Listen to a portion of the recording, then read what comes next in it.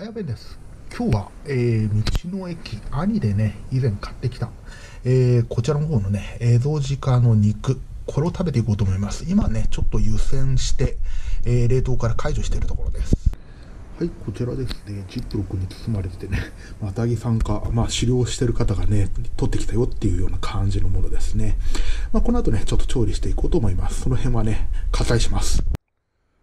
い、出来上がりました。こちらの方が、えー、鹿肉、えー、ちょっとね、えー、焼いただけのものですね。こちらの方は、えー、リンゴと、えー、赤ワインで煮たものですね。で、塩と柚子胡椒で食べていくんですけれども、適時フォアジャーだとかね、黒胡椒とかそういうのも足していこうと思います。はい、では、いただいていこうかなと思いますね。ちなみに、こちら、天野と、えー、四条さんでね、毎年ね、えーと、県内の横手の、えー、ゆね屋さん、ハッピーボール店のね、山影さんなんかがね、えー、天野と酒造とコラボで、えーと、2月の2日に絞る、2, 2月の3日かな、絞りたてのものっていうのを販売するんですけどもね、その本当に新春の初絞り。で、ちょっとこう、薄濁りの原酒ですね、になっております浅前酒造さんのね、えアマント。になります。特別仕様ですね。毎年この時期に出るものになっております。さてさて。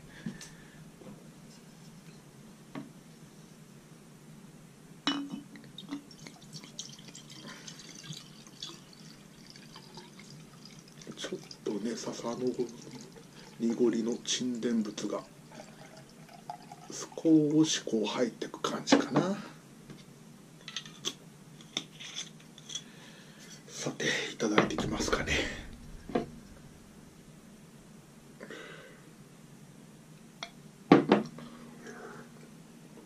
ふう。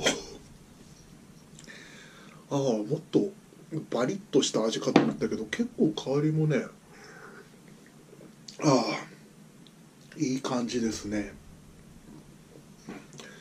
ほんのり甘くて辛さもあって荒々しさもあるんだけど、うん、ちょっとフルーティーさもある感じかな。ああ本当に新種ですねって感じの味ですね。いや美味しい。さて料理もちょっと映るようにということでねいただいていきます。江戸鹿ですね。ちら。単なるソテーです塩でいただきましょうかね。うん。あ。思ったより全然癖ない。このままでガンガン食えちゃう。うん。うん。開けてね焼いてる時はもうちょっとこう血の香りとかして野生のね肉の味あの香りちょっと癖がある感じしたんだけど思いのほか癖はないね。だ血抜きとかその辺の技術がいいんだろうね。うん。血抜きが美味しくがねうまくいってないと全然ダメだっていうしね。それでいうとちょっと脂身が多いところも食べてみるか。うん。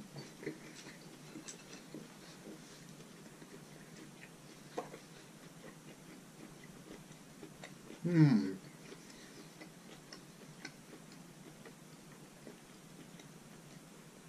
脂もそんなじわっとくる感じじゃなくてそんなしつこいベタベタさはないんだよな。うん。もっとね鉄っぽい味がするかなと思ったんですけどね。そうでもないですね。うん。おこれはちょっときちんと切れてなかった。行儀悪いけど。うん。うん。切れた。柚子胡椒でも食べてみるか。この柚子胡椒も自家製のやつなんですけどね。塩と柚子作ったものあちらに実家から送ってもらったやつです。自分では作ってないです。おお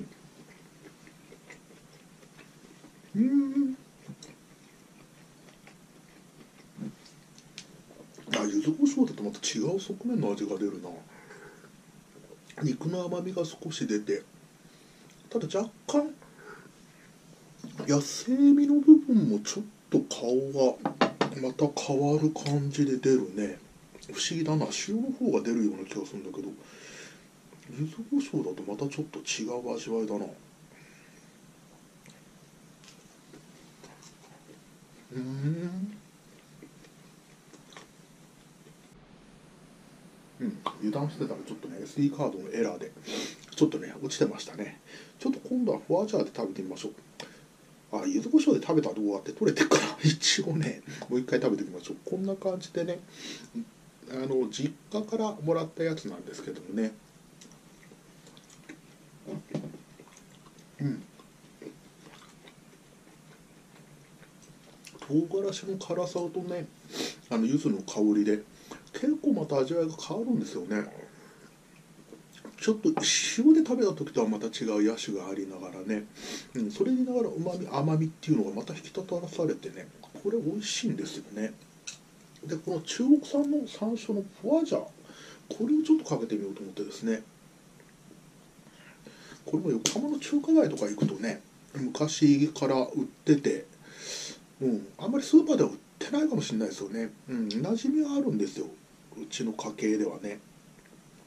で結構唐揚げにねあのー、フォアジャーと塩って合うんですよ。でこれをいきます。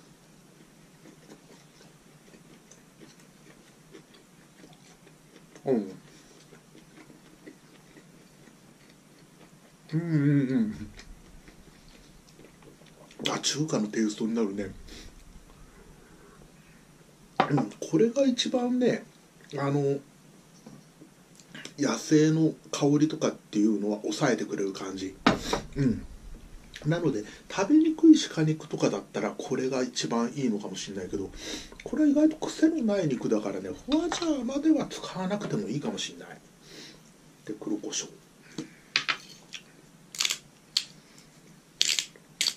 うん。まあ胡椒ああ香りがやっぱいいね。多分ね唐辛子も良かったけど辛みが結構合うかもしれないなと思うんですよ。あ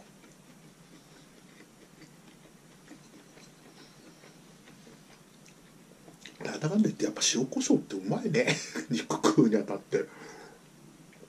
だから個人的にはね柚子胡椒が実は優勝個人的には。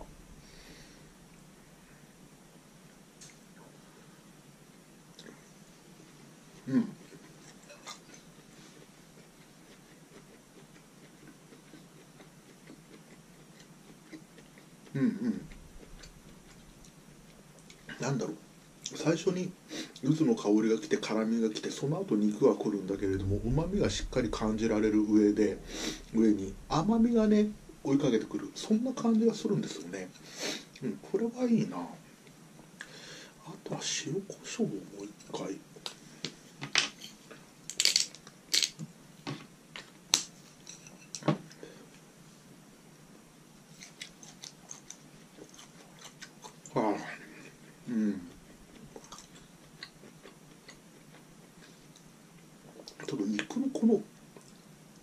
生めかしさっていうかそれが生きる感じかな。うん。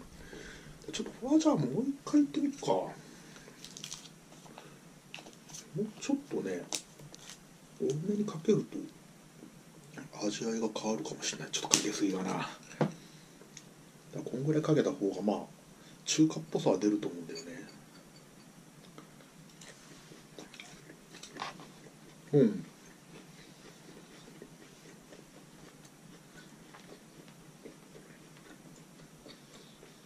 うん。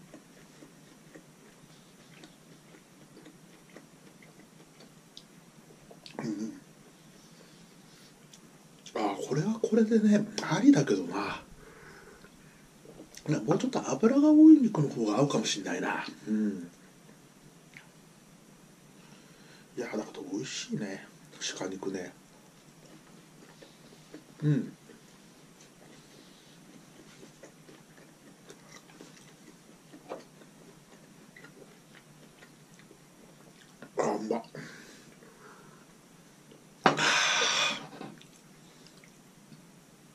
やっぱり秋田ジビエとかもね結構ありますけどもねうまい鹿肉手に入りますね。うん。まあ南九州の方があちこちで売ってるんですけれどもねうん。兄駅の方道の駅兄まで行くとね結構こういうものが手に入ります。でこちら。似たやつ。ああああ結構繊維がホロホロと崩れる感じだな。あこうなるんだ。全然味わいが違う。うん。ちょっと薄味で作って場合によってはちょっとタレ的なものかけた方がいいかなと思ったけどこれぐらいでも全然いいな。りんごと一緒に食ってみよ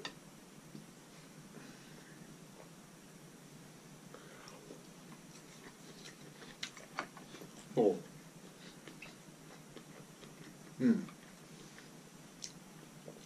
あうん。あ結構いけるな。うん油が多い肉豚肉だとかベーコンとかとリンゴって意外とあったりして油が少ないとどうだろうと思ったけどこれはこれで全然合うね。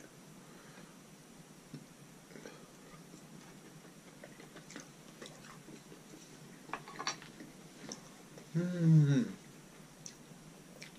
やっぱりリンゴの酵素がある程度効いてるのかな？肉は柔らかくなってホロホロとほどけるようなそんな感じがするんだよね。あちなみにね肉は角切りにして一旦炒めて塩振って炒めてちょっと強めに塩振って炒めて。でその後ちょっと赤ワインをドボドボって入れて火を止めてからドボドボって入れてあのー焼いた時に出た汁だとかを一緒に、えー圧力鍋にぶっ込んでりんごと一緒に圧力鍋で炊いたって形なんですけどね。いけるね。うん。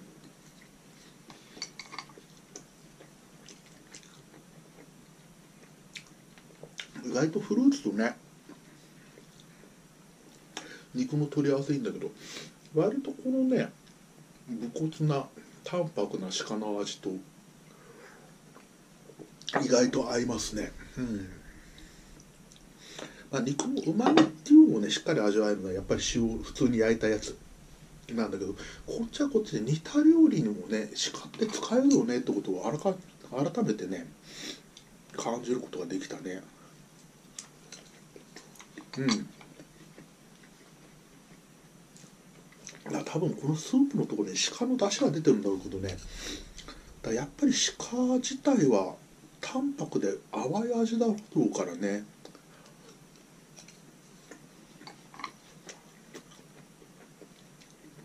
そこまでそこまで主張はしないんだけれども。うん。これはありだな。うん。あ美味しい、うん、ということでねこの後もねお酒を飲みながら食べていこうと思います。いやーやっぱりねジビエ文化いいですね。まだねあのー冷凍庫に鹿肉とジャンボウサギの肉があるのでね後にちょっとねそれも調理して揚げていこうと思うんですけどもねひとまずは鹿編でした。うん。500g あってまあまだちょっと似たのはまだねあるんですけどもね焼いてるのはこれで終わっちゃったんだけども、うん、楽しんでいきたいと思います。ということでね美味しかったです。雨でした。ご視聴ありがとうございました。さよなら。